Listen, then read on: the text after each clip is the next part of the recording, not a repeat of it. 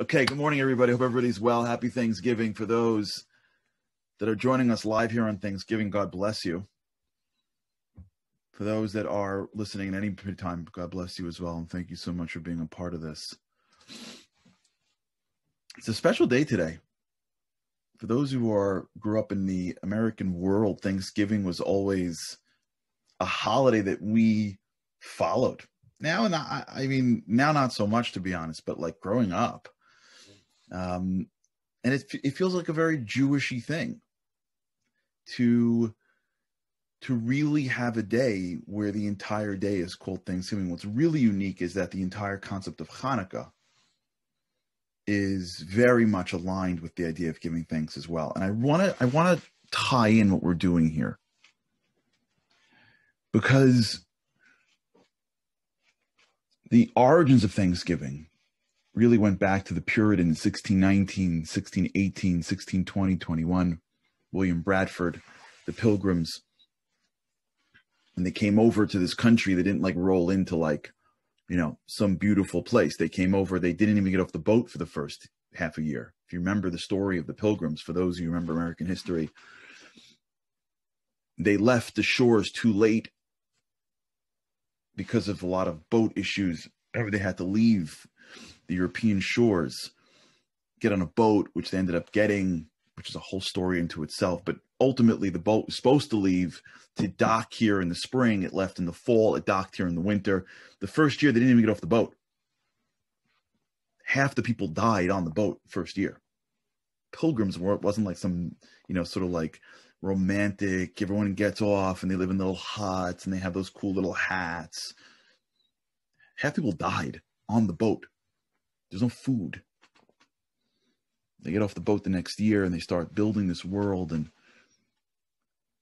when they had a real harvest and they realized that they could survive, they they created a a day, a, a feast to thank the Almighty God. And they had it with Indians because back in the beginning, at least, the Indians and the Pilgrims understood they had to to work together. It wasn't so simple, but but this concept of Thanksgiving really originates with very faith based people, recognizing that whatever I have in my life is coming from God. So Thanksgiving really, in its core, is a moment to appreciate what we have. Yeah. What we've been talking about for the past few days is this concept that what we have inside us is so much more valuable than anything that we're going to accomplish in this world. And this is an important piece to get underneath for the Western minds amongst us, of which I am at the front of this list.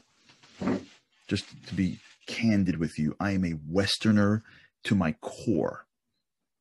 I grew up in this world of accomplishments.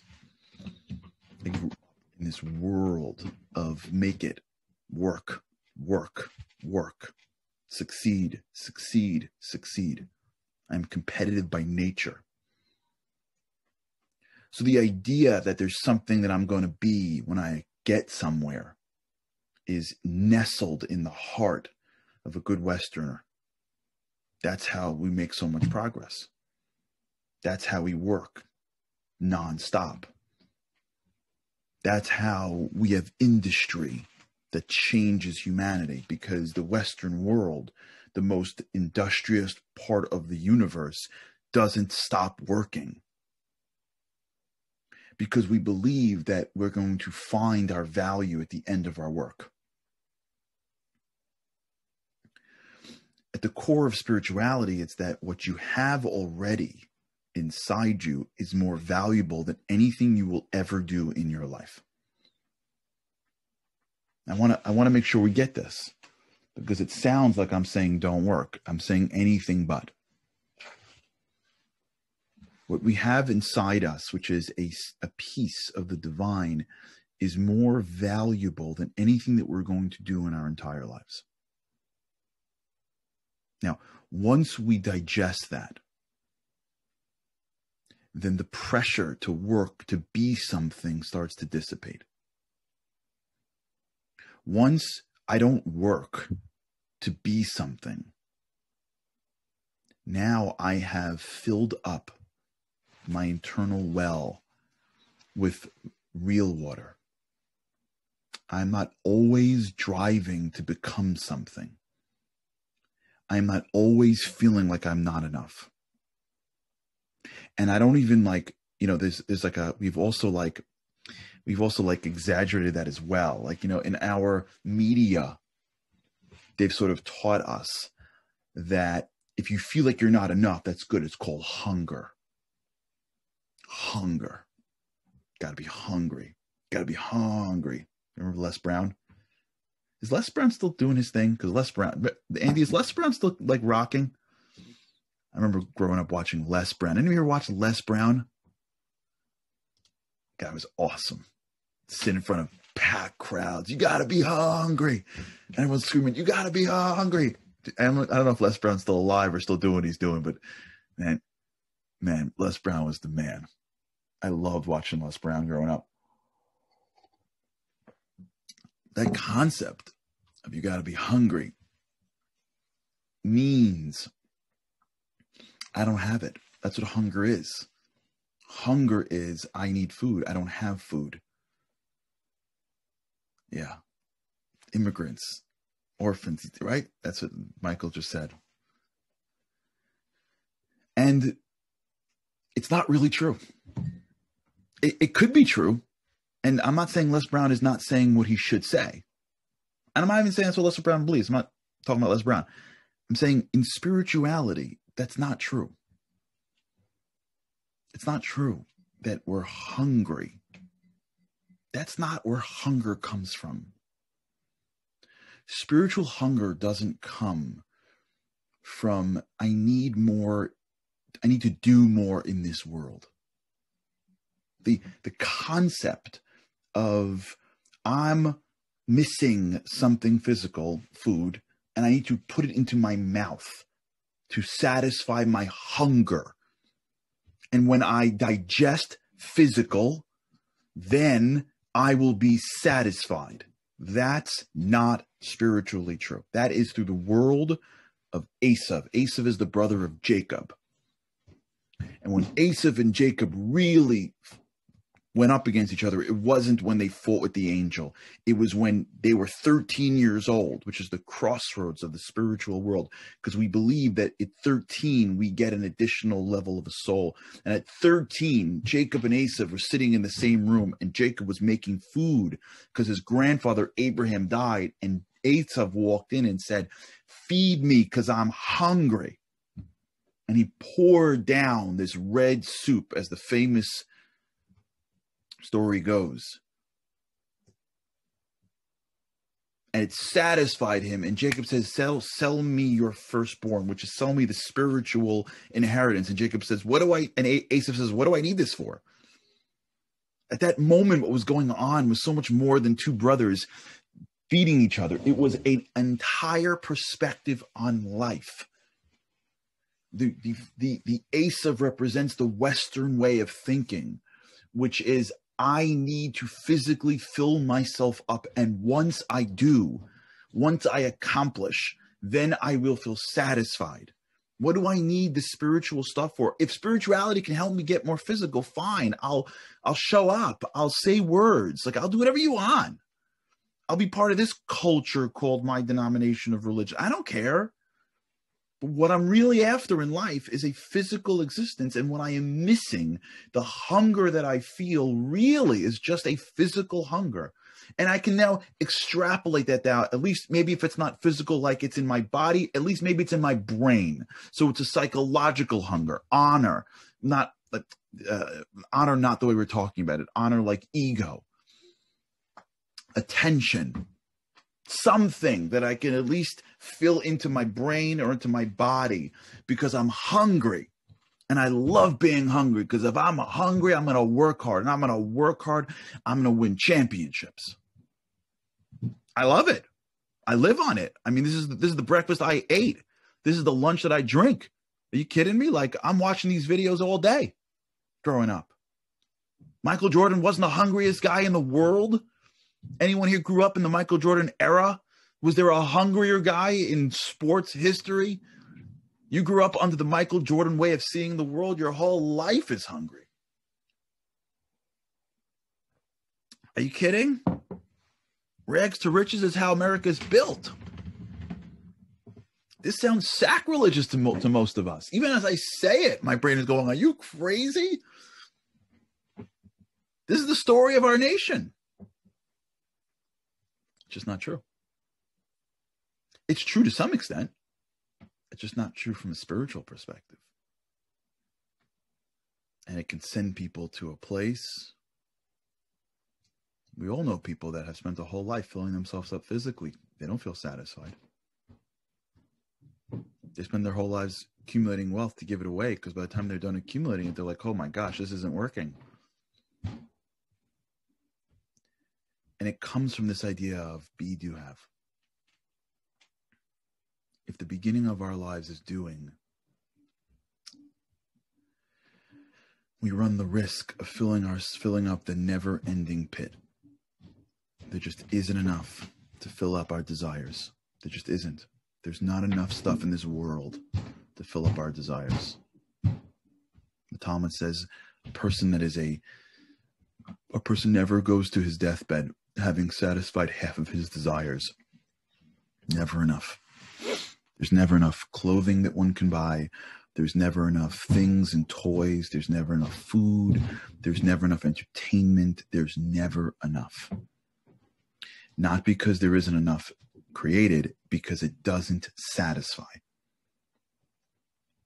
We will never be satisfied if we begin our lives doing.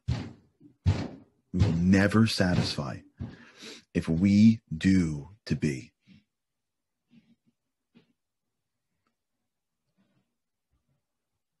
Once we recognize that what I have already is the most valuable thing I will ever get in my life, no matter what I get in this world, you will never get, ever, anything more valuable than the soul that you already have period. That means that the guy on the street corner contains something more valuable inside him. I don't care what he looks like, than the largest, biggest mansion ever built. Just two different domains. They just don't play in the same world. The spiritual and the physical do not play in the same sandbox. That's who we are.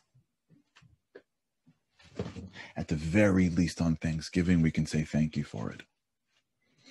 At the very least on Thanksgiving, we can look up for a moment and just say, wow, I'm honored to house something so valuable. I'm all for turkey, but the goal of Thanksgiving is not to stuff ourselves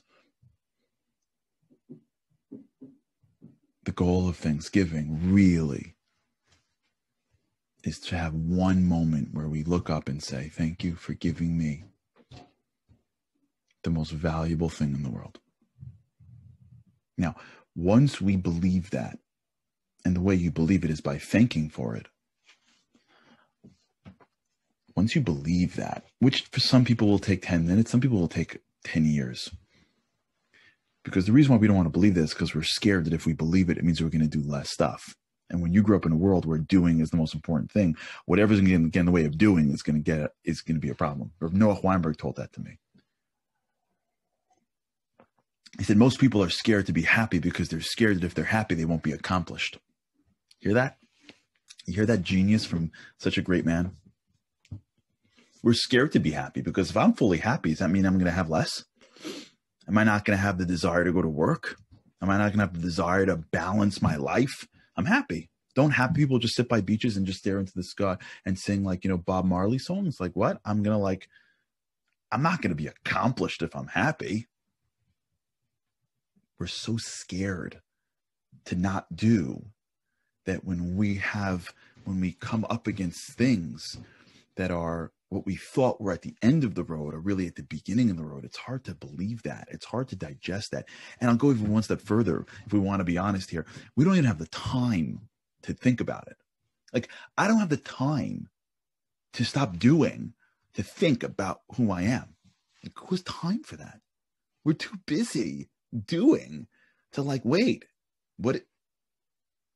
Nah, I'll do that on Shabbat. I'll do that when I'm retired. I don't know. I got too much things to do now. And so we're scared, I believe, to fully appreciate what it means to be. What it means to house the holiest thing and the most valuable thing we'll ever have in our lives already. What it means that what's inside you is so much more deep and that means that we are so much more deep.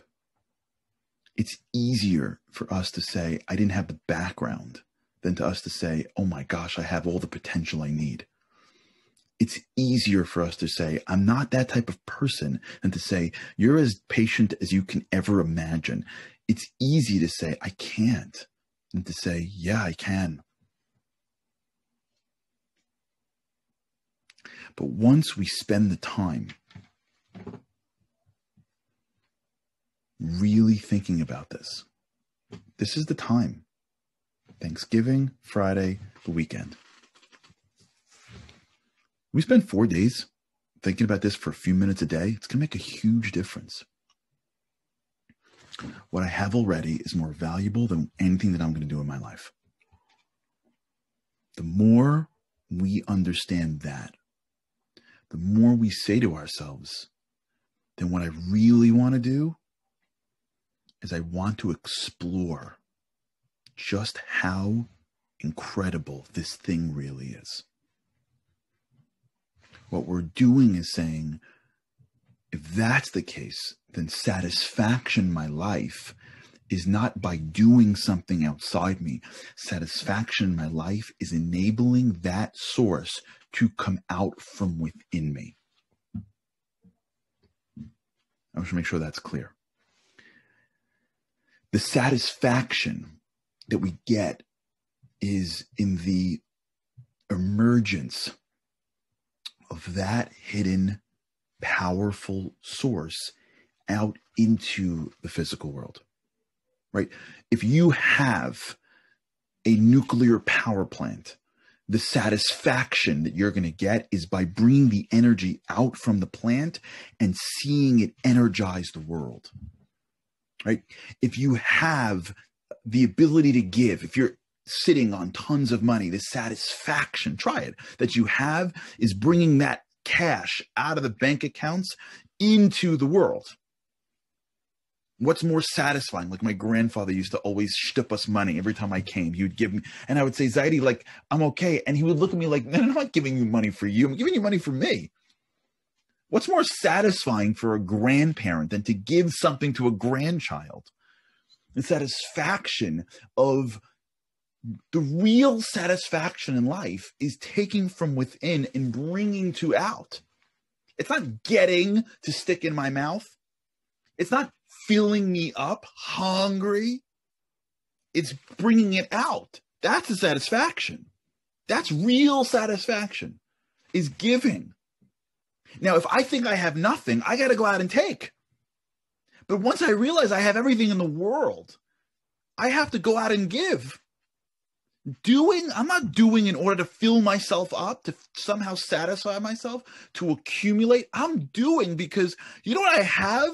You know who I am? I don't want to die knowing that I had so much more that was inside me that I couldn't share with other people. Do you know what's going on here? I got a piece of God. I got a piece of the infinite. I'm gonna get to my I'm gonna get to to a time in my life where my physicalness is slowing me down because of age, and I look back in my life and go, wait, I've spent my life accumulating and sticking things into my mouth because I didn't realize that I had so much already. I could have been out there doing. We don't do because we're hungry. We do because we're full. We do because we're sitting on a gold mine. We do because the be inside me is burning up. And the only thing that gives me pleasure is when I get to go out and share. It doesn't mean I don't get back in return. It's that this is who I am. I don't need you to tell me how great I am. I know how great I am. I got a piece of God. I need you to pat me on the back. I need you to give me a trophy. I need you to give me a trophy. Do you know what the trophy I have in life is? My soul. You're going to give me that plastic thing in your hand is going to make me feel better than the thing that I have inside me for real? That cl- what are you joking me? Do you know who I am? I'm a piece of God. I need you to tell me, I need you to like compliment me in public. That's what I need. This is what's getting me going in the morning. You know what I need? I need to be able to give because that feeling of up and out, that when the, it's like, you can almost picture it. It's like when the energy comes up through our bodies and out into the world, that feeling, it's not even the giving, it's the feeling of giving. It's the process of giving. It's the pouring the milk for the kids. It's the pouring that is the greatest feeling in the world. It's the handing that dollar and saying and that feeling of as the hand goes out that pulsating that's spiritual satisfaction that's be do that's life i'm not hungry we just got so much that we want to share that we just can't wait.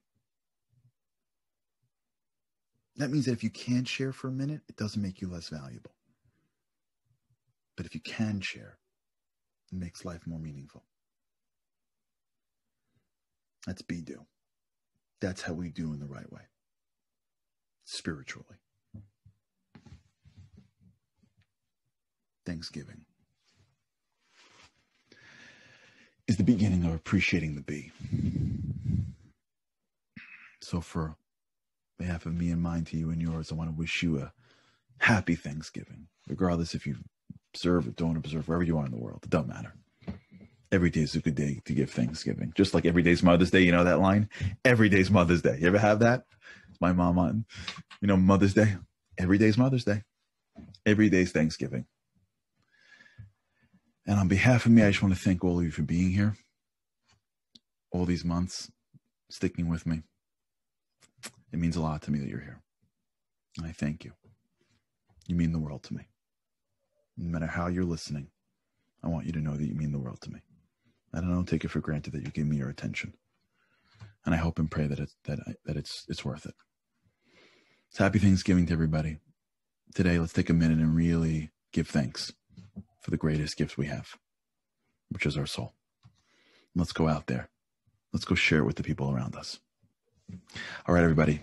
Happy Thanksgiving, and tomorrow, with God's help, we'll do some more Q and A. But it looks like the Q and A's are really turning into one, two questions that frame the, the conversation. But we'll keep on rolling. Charlie at charlieharary.com if you want to send a question in. And uh, with God's help, can't wait to see you tomorrow. Happy Thanksgiving.